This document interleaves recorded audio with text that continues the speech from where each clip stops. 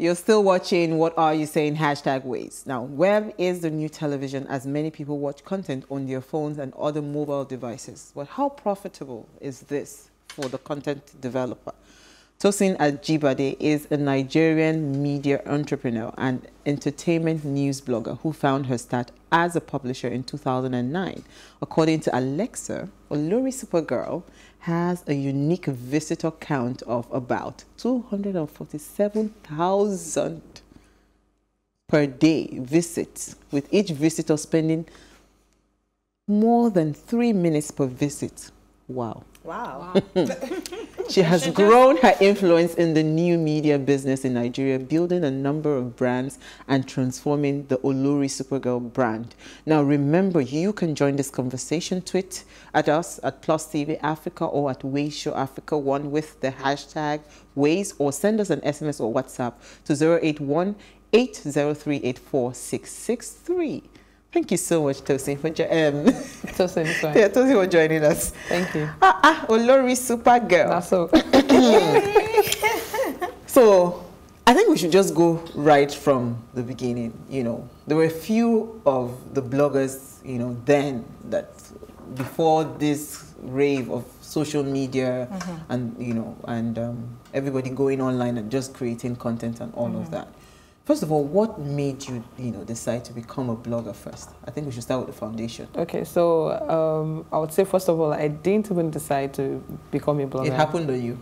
Um, so I think it, it grew on me. Uh, it was a side also, and then I didn't even term it as the word blogger. So I had my nine to five, regular nine to five, and um, but that was just a side also, and then it became something that grew, and it grew way beyond what I expected. So um, then uh, at a point I just had to focus more on it and it's going to what we have today, you know, so. so I see a lot of people, because of your success story, yeah, they don't understand the history, they don't understand the background, they don't understand, they just wake up I have just finished school, I want to blog. Oh. And they feel I can blog. Blog, I blow. No. You know? is it truly a profitable business? It is. Okay. So it's not like truly, but it is it is a profitable um, business. So for okay for some for most people so they have they have this uh, perception or saying that oh I want to be this person I want to be that person mm -hmm. and I had uh, issues with people you know telling me oh I want to be like you and I tell them you can't be like me so what I did was in 2018 I released my first book, Olori Supergal from Social Misfit to Social Media Hero. We actually talked about my personal and professional experiences, you know, talking about this whole starting point yeah. to where to where um, the brand got to and to where we are and the expanding and the rest of them. So that way people can actually understand how everything all started. So now we can't compare what happened 10 years ago to what it is now. Mm -hmm. Anyone can actually wake up today and, mm -hmm. and open an, um, an Instagram page mm -hmm. or maybe a YouTube channel and then just do something and broadcast yourself. you have there. AdSense connected to your account and then you actually earn in dollars. So it is actually profitable, you know, when you actually, uh, you know, step away or move away from mistakes that people already made look at what they've done and then just take it off from wherever it is and then boom, you're out there. Okay, so um, as she said, um, blogging essentially started, um, you know, you followed the dot-com era. Yes. Where, you know, people started to focus on technology yeah. um, from the increasing use and adoption of, um, of the internet. So as we were saying before, as with other sectors, I want to believe that there was some first mover advantage, um, the people that started. So before, it's even like a new kind of profession. So before 1998, we didn't have bloggers mm or anything, right? So the people that started must have cashed out mm -hmm. somewhat, and now the market is kind of saturated. It is saturated. So what's your own differentiation like strategy? How are you able to keep churning out relevant content consistently? Okay, so I would say, okay, so the world is um, just keep evolving because um, what happened, I mean, like I said, what, what started 10 years ago is not the same way, whoever started 10 years ago, would, the person would do the same thing again today. Absolutely. So anyone who is starting out today won't know what the person did 10 years ago. Mm -hmm. Everything all has changed. True. If you look, at, evolved, if you look at it, it has evolved. So let's, okay, let's go as far back as when Facebook started then um, Twitter came. Mm-hmm. Then um, so we had hi5, we had Yahoo Messenger, right. we had hi5, we had StumbleUpon Digg, and again, not forgetting that also Nairaland is also there. Yes. And then the other platforms that actually came crashed and then they left. Mm-hmm. And then in between Twitter came. Twitter came and it was very difficult. And then in between um, Instagram came mm-hmm. and people jumped on Instagram and then YouTube started 2005.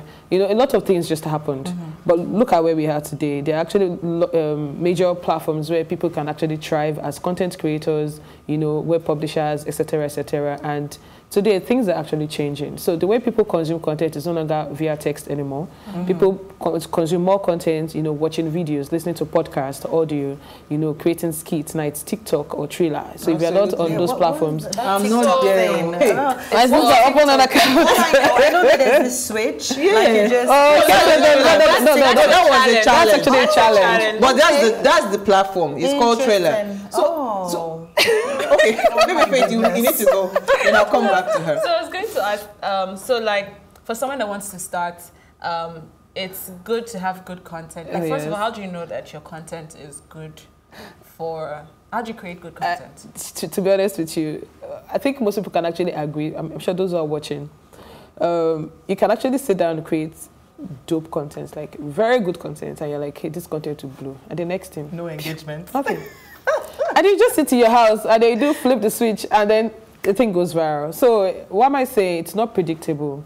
But as long as you have good content, you have that creativity well, you can always go back to. No, Lori, you didn't answer that one way. Which one? Let me come back to that. which, sorry, which, See, which question? Let me, let, me, let me tell you something. There is a strategy oh. in making any content sell, whether Viral. it is good hmm. or bad. Okay. Nico, tell okay. us that one. Because let me, so let me let me break it down. Yeah. Let me break it down for you.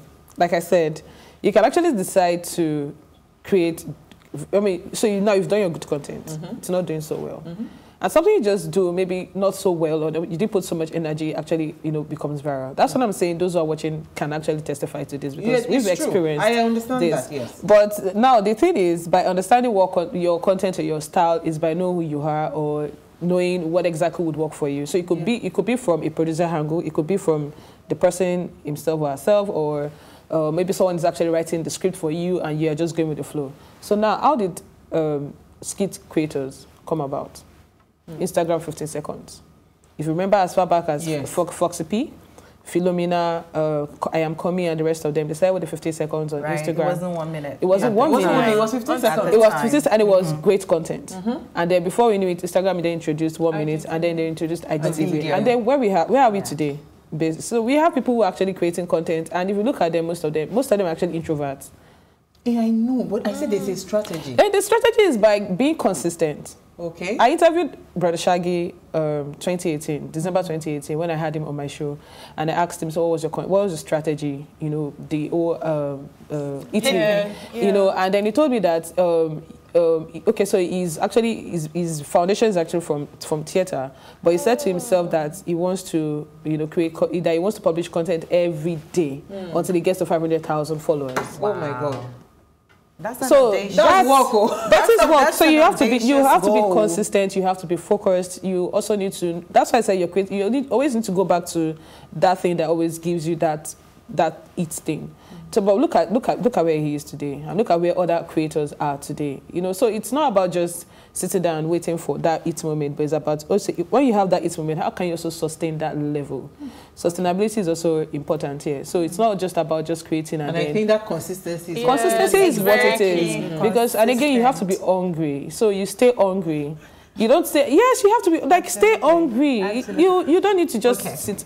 So let's let's do a deep dive into how a content creator makes money? How does a blogger make money? I, so the most um, the most um, obvious one would be adverts, I would say. Yes. But I hear streaming, I hear this, that. Yes. So how does I just? I'm so just I won't say the word blogger. I'll, ju I'll just try and summarize everything exactly. together because now, like I said, text is no longer as effective no, as audio. Who has time to read? read? Nobody. Ladies. I want to read. Okay, so um, she doesn't want to hear that. no, no, no. I mean, so I don't agree with it. I just find that that's what happens. Like a lot of people just don't want to read. They want to Especially just go, okay. if it's too long. Yeah, like can, can somebody you go through comments and you and see like, like, can you can just you summarize? summarize? really? Honestly, why is it because people don't actually like to read? Okay, yeah. so anyways, um, okay, so people can make uh, money from adverts. You can make money from adverts, um, AdSense, um, Google AdSense. So if it's connected to your website, you can make money off that. And if it's connected to your YouTube channel, you need to create oh, a Gmail like account. A trade secret? It's not a trade oh, okay. secret. I'm Everybody knows this. I, no, no, no, no. Okay. It's even a trade secret. It's something that it's, it, the information is out there. Right. So if you have a website, you, you create a Google AdSense account. Once it's approved, you, you put the code, HTML code on your website. Right. Do the same, connected, connected to your YouTube channel. So if you have a YouTube channel, you earn money. So, and then it's connected to your DOM account and you get your oh. money. So it's, there's no trade secret. Any, mm-hmm. see why a lot. Not that those, high. You know when you're watching something mm -hmm. and those that things come. So the ads that pop, or yes, on, on videos. Yeah. Up, so that's so, what the person. Oh, okay. So now when this um, drama started happening of people, um, Instagram taking away likes and all of that, in your um, view, how do you think it impacted? The creativity of, uh, or it, it impacted the, the engagement. No, no, the financial, the financial impact that it had on the creatives. Uh, they're still making their money. Okay. Either ways. Um, another way to measure true analytics is by saves. So you can actually see the number of saves and um, sure. these days, people would always say, okay, so more people saw this, but they saved it rather than them liking it. Mm. You know, when Instagram rolled out, rolled out, uh, rolled out the information of, of, reducing likes and the rest of them, people saw it again on the other hand that, okay, I think this will actually reduce depression or something. Or people saying, uh, I posted a nice picture and nobody said anything, but if I post something and something, people would like it. So people saw it from that angle. Other people from, saw it from another angle where if they go to the back end of their of their accounts, they can actually see the number of people. So you can now still engage. You can still engage the people that want to engage yes, the services. Okay, yes, true. So someone is asking a question: Is there any character quality that is required to sustain um, the success? That the you've said one consistency. Yeah. Yeah. I think discipline should be part of that one. Yeah, so, so it's, they all work they're together. All, they're all tied they're all together. together. Yeah. But must you have, you know, because some people are just creatives, and I see and, this and, mistake and they, a lot. And they do, and see, they don't have the business. So do you need to go and learn? So most of, of them, most of them have managers. If you go to their bio, you see uh, contact something mm-hmm. something right. at talentmanagement.com yeah, okay. or something. So that is why you know when I, I was explaining and I was breaking it down, I said, okay, you can be the producer, someone can be the creative yes. writer, someone can be the business person. You can't be everything at the same time. No, but if you are starting, Olori, can you afford those people? So if you can, if you can afford, start small okay. and then ask questions you know and um, you know do what you can until when you get to that like okay so for i'll use shaggi again as an example he made that decision to get to where he is today. So right now, I'm sure he has a manager, he has this person, he has mm -hmm. that person, and all. Now he can afford them. But what did he do? He did the work. Right. And now so, they can come on so board. So do you train people? Do you help? Because I oh, know oh, yes, you organize we do, we do a lot of yeah. You do a lot of you do a lot of engagement when it oh, comes oh, yes. to social media and yes. how to monetize oh, yes. content and all of that. Oh, so yes. when is your next? corona, Corona. okay, no, no, but anyways, anyways, I, I'm just. I didn't see that coming though. Anyway, mm. but um, so we are, we are trying to put everything out online. So we are creating an online course where people can actually sit at home or anywhere, log in on the website, okay. and then just okay. you know as, access uh, content. I mean, we have previous videos from previous editions and all. So that's that's actually in the and works. is it going to be free? Not free. You have to pay for it because free. How? Monetize. Monetize. my viewing now. okay, so you're monetizing that, but that will be available for people that yeah, are people interested, interested in, in, knowing how to monetize their influence on social media. You know, like you, you, you said something that you see people who are creative, but they don't have the business yeah. side of it, and someone will sit and say, "Why am I not getting this? Why am I not getting that? Uh, why is this person getting this? Why is this person getting that?" We're all different, but anyways, the the end game is to make money, you know, and to stay in business. So how do you how do you learn the ropes? How do you know about this thing? So we have all of that, you know, created, you know, and people can uh, have access to it, pay, you know, and they have they also have lifetime access to it anytime they want to. And then I'm guessing maybe there'll be like a collaboration. They're doing collaboration. So for the um, the previous classes we've had, we've had like facilitators like um, Yemi, Ron Kefela, Femi Bakwe, a lazy writer, Pamileri, um, Fisayo Fosudo, and the rest of them, like different people from different platforms, so that that way people can, if you if you if your strength is more on Twitter, you know what to do. If your strength is more on YouTube, okay, you so, know what to do. So now, quickly before we're running out. Yes, I know. Twitter Instagram. So it's like one is coming up and it's killing another one. One is coming up and it's killing another one. As it's killing So- the other one, so just you start have to jumping on it. You have to stay, keep You have to be on. TikTok and trend. Wow. to be relevant. You have to just stay relevant and, so it and means then that you have to keep with the trend Yes, of what you is have happening. to. If not, It's your lot of account will be relegated to the side. It's a That's day crazy. job. Where's your own switch challenge? Or is it My sister, I I get don't to see anybody do switch. switch. We can do the switch. just We make, should- we just should do know that I'm show, going with the, with the with the hair. Uh, and I'm going with yours. I'm adding yours to mine. I agree. Oh my goodness, thank you so much, Thank you, Olori thank you. for coming. We really, really enjoyed the conversation. Now, we'll take a quick break. When we return, we have Temilola Akimuda. She'll join us after the break. Please stay with us.